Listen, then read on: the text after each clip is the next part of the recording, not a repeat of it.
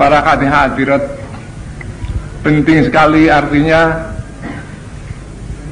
dalam perjuangan Fafiril Allah wa Rasulihi diadakan asrama Ramadan ini. Para hadirat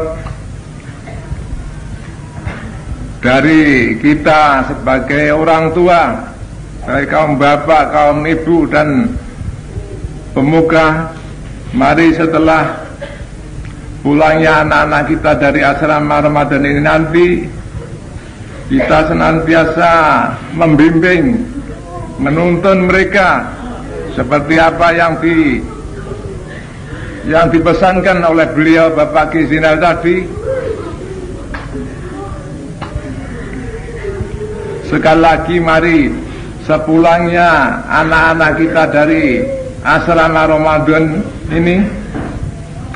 Dan sepulangnya sepulangnya pula remaja-remaja kita dari musyawarah kubra ini nanti mari kita ajak kerja bersama berjuang bersama-sama berjuang fafirillallah wa rasulihi sallallahu wasallam dalam segala bidang. Dan mari para hadirat kita sebagai orang tua anak-anak kita yang baru selesai dalam mengikuti asrama Ramadan ini kita tempatkan di tempat mereka yang setepat-tepatnya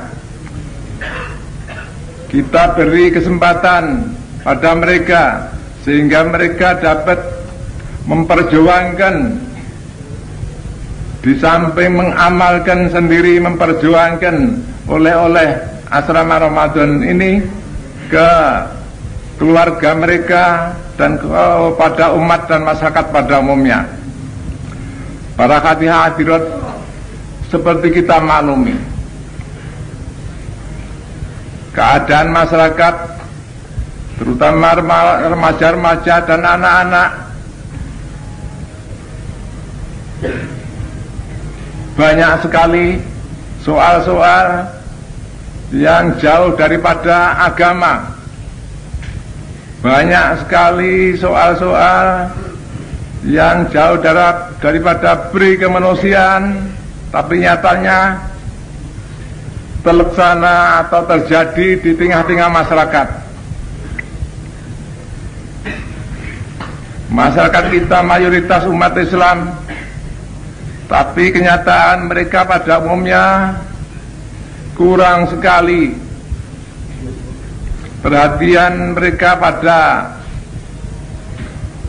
agama kita, agama mereka, agama Islam. Bahkan para hadirat kita bangsa Indonesia yang berpancasila, tapi kenyataannya para hadirat sejauh daripada apa itu Pancasila.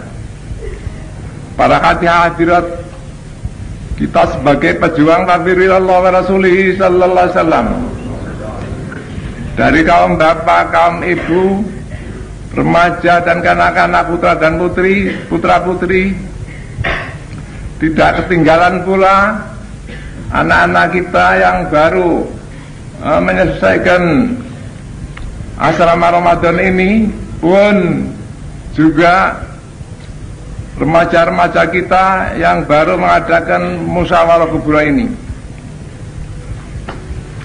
Kita bertanggung jawab kepada dalam soal keadaan masyarakat yang pada umumnya jauh daripada agama mereka masing-masing. Kita tahu. Mereka menyatakan merasa. Dan orang banyak tahu bahwa mereka orang Islam tapi nyatanya tinggal nama saja. Bukankah para hadirat? Ini soal yang dikecam oleh Allah Subhanahu wa taala melanggar perintah-perintah Allah Subhanahu wa taala, larangan-larangan Allah Subhanahu wa taala. dilanggar perintah-perintah Allah Subhanahu wa taala tidak ditepati. Kita tahu kita bertanggung jawab seperti apa yang disabdakan oleh beliau Rasulullah sallallahu alaihi wasallam. Idza zaharatil bidah wa sakatal alim fa alaina laknatullah. Apabila ada merajalela perbuatan-perbuatan yang dikecam oleh Allah Subhanahu wa taala yaitu tidak mengabaikan perintah-perintah Allah taala dan melanggar larangan-larangan Allah taala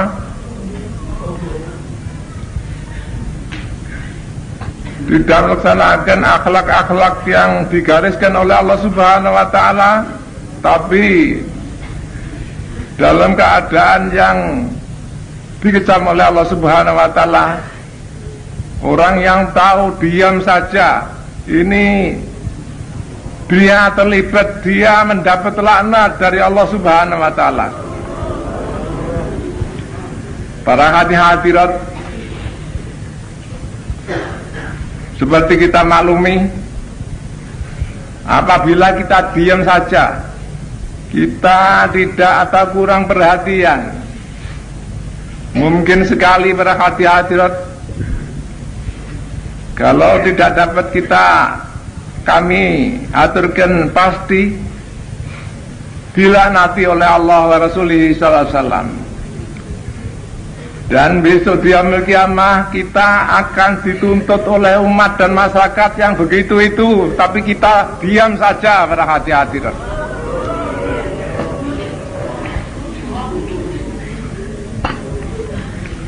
coba mari menengok kepada tangga-tangga kita atau masyarakat sekitar kita bagaimana. Mereka mayoritas umat Islam katanya tapi kenyataannya bagaimana para hadirat mayoritas jauh daripada Islam para hadirat